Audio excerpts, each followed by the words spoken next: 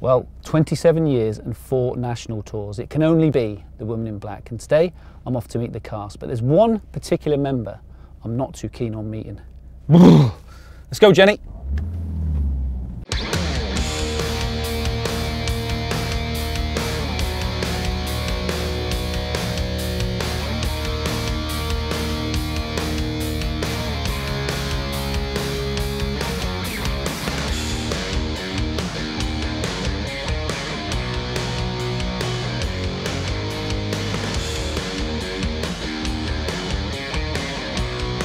Eadie Rider, sponsored by ABC Taxis, achieving best customer service.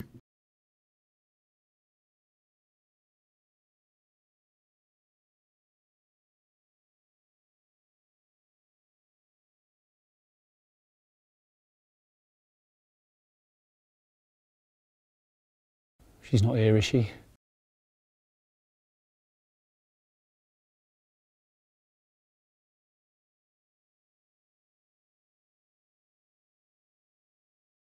Well, David Acton and Matthew Spencer, thank you for joining me, the two cast members of The Woman in Black. Just tell us a little bit about history about The Woman in Black itself and, and, and how it differs from the film, because I think imagine a lot of people who come to see this have seen the film and maybe expecting the same thing, is that right?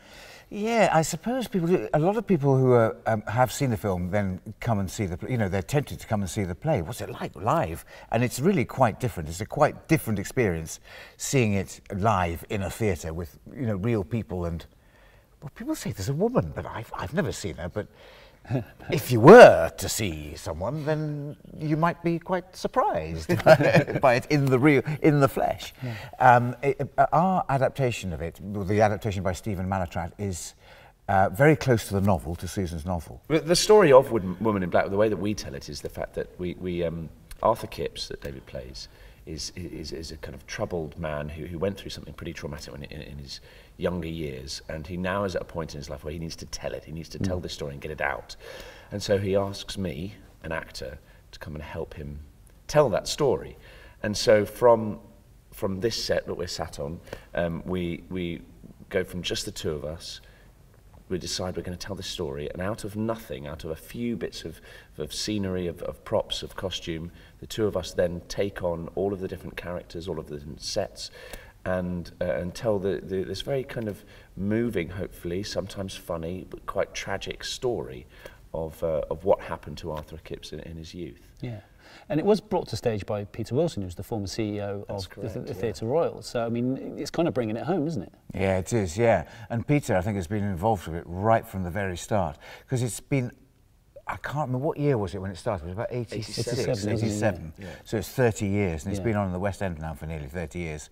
And it goes out on tour every two years. Uh, and, and Peter has been a champion of the play ever since he first saw mm. it uh, in Scarborough, where it was done as just as a kind of little extra. There was a little bit of cash left over at the end of the season, and uh, a, a play was commissioned. With, you know, you can't have more than no more than four characters at most, and it was just put on in the bar as an extra show over winter uh, 30 years ago, and it's just gone on from there, and it's just been a, this huge success. Norfolk is, or Norwich in particular, has got a lot of history to it and a lot of ghost stories, so it kind of does fit quite nicely here. I mean, are you well aware yeah. of Norwich and its ghost stories? Uh, no, I'm not. No, there few. must be a few ghosts yeah. in here. I would have thought. Yeah.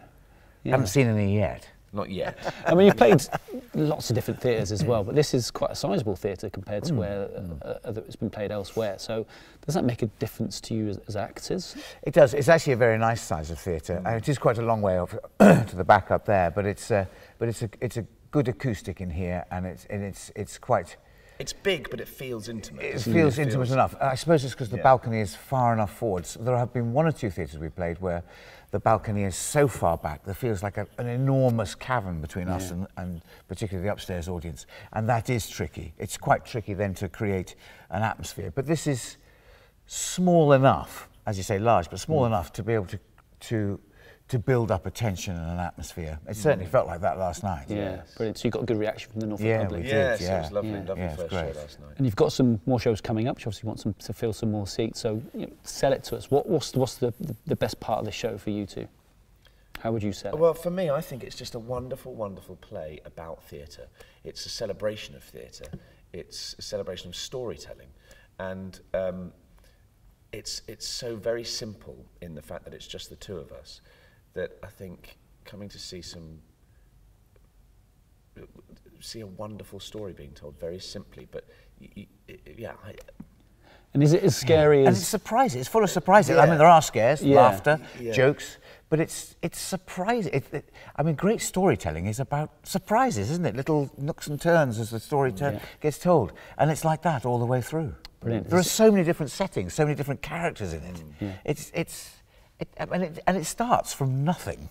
Yeah. It starts from a drab set like this with an old man who can't speak. and out of that, and people are going, what the hell have I come so to you're not here? selling it. No.